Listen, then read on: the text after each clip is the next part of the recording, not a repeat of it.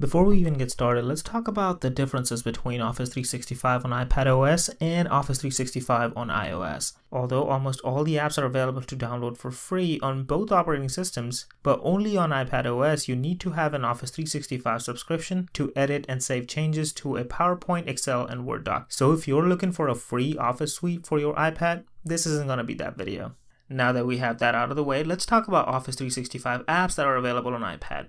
Although Microsoft has a fairly large number of applications available on Windows and macOS, only a small subset of those applications is available for iPad as well. Having said that, the apps that matter to most people are still available, which I think should be Excel, Word, PowerPoint, Outlook, and OneNote, and they are available to download for free from the App Store. On iPad OS, Word and PowerPoint are very similar to their web and PC counterparts. With that I mean, when you start the application, you can notice the similarity right away. Starting from being able to choose from multiple templates for you to create a new document with, or you can just start a blank document. If you want to open an existing document, it allows you to choose from your iPad's local storage or you can just pick one from your OneDrive account. When you have a document open and you get to the application, you have access to all the basic formatting and typing features that are available on full version of Word and PowerPoint. You can also format the text based on predefined categories such as headings, quotes, and intense references. Something that I wasn't expecting is that you can insert equations, but for some reason you cannot insert symbols. Instead, there's a feature to insert icons, which is way better than symbols in my opinion. It doesn't require you to look through 15,000 things that are placed in 100 different font families like you have to on the desktop version of these applications. You can also insert shapes, lines, and tables from the Insert tab. It allows you to format these objects to an extent, but it is a very limited feature as you cannot even change the thickness of the outline on a shape or a table. Speaking of the table functionality, you can easily create a fully functional table with Word on iPadOS.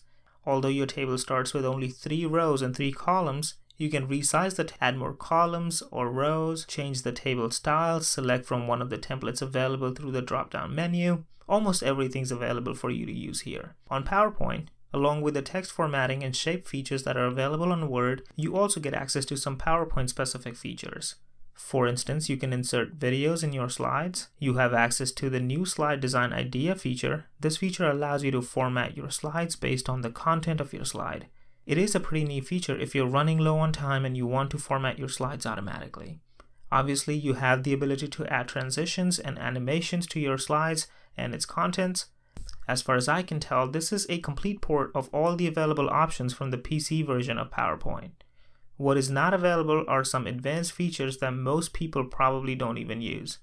For instance, you don't have access to Slide Master. Your ability to export your slide in multiple formats is very limited. Other than being able to save your native PPTX PowerPoint file, you can only export the file as a PDF or an ODP document. I know most people won't care about that. The only reason I care about that is because I use PowerPoint to create animations for my YouTube videos. So at least on Word and PowerPoint, there's no way to create charts and graphs on the iPad. For that, you have to switch to Excel. Just like the other two apps, you get a bunch of templates to choose from when you want to create a new document. You can also navigate to the Open tab and select an existing document from your iPad storage or from your OneDrive. You get access to all the features that are available for text editing, shapes, and formatting as you would on Word and PowerPoint, but on Excel, you have access to some advanced formula and table features as well.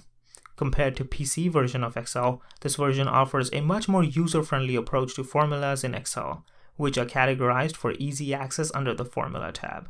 You can tap on each category to pull up a list of all the formulas under that category. If you want more information about a certain item on a list, you can simply tap on the information icon and it will give you a brief description of that formula. Once you have a good set of data collected, you can select that data and insert a graph or a chart to represent that data.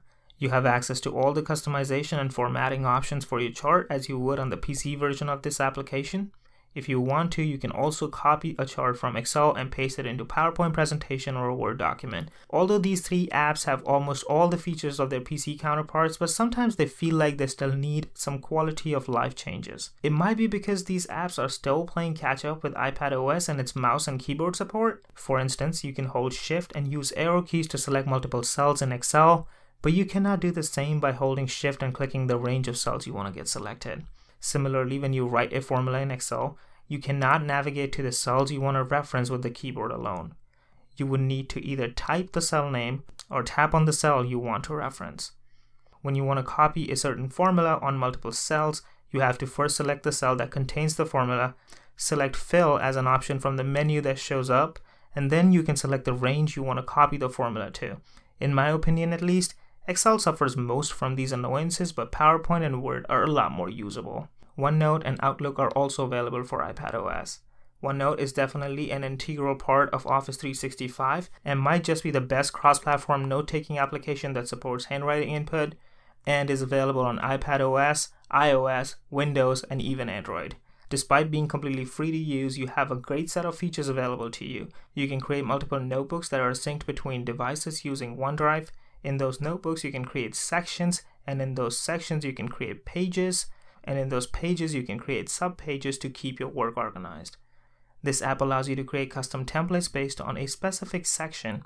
So if you have a section for meeting notes, for instance, you can create a template with prompts for attendees, topics to be discussed, and action items. From then on, whenever you create a new page in the meeting notes section, your page will already have the prompts ready for you to fill in. Other than using templates for meeting notes, I use template for my daily journal for which I use a custom image as my background, which is also an amazing feature of OneNote.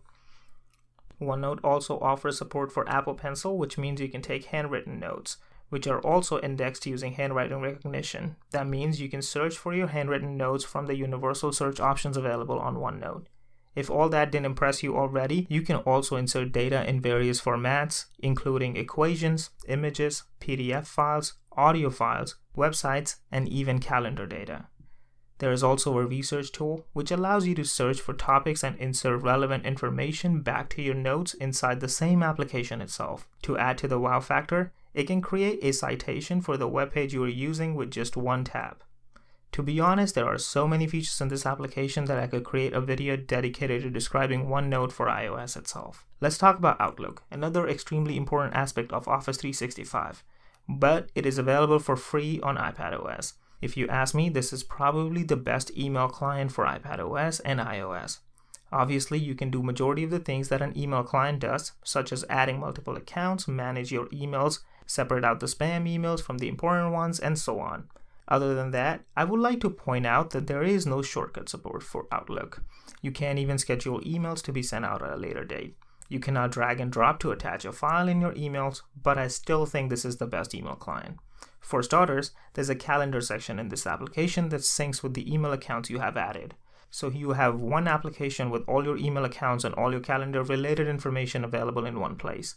Then there's the file section of this email client. Here you will notice if you have a Gmail account synced to Outlook, you also have access to your Google Drive from Outlook itself, which means you can attach those files as attachments and emails being sent out from Outlook.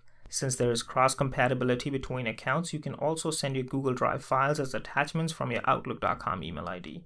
This is also true for any attachments you receive in your emails. All the files that you received as attachments will be available for you to attach when you're creating a new email irrespective of what email accounts you choose to send the email from. This cross compatibility has made my life so much easier when it comes to file sharing and file management that I think, despite all its flaws, Outlook is the best email client on iPad OS. Well, that's all I have for you today. If this video helped you in any way possible, please hit the like button below, and if you have any questions, please leave them in the comment section. Thanks again for watching. This is Geet.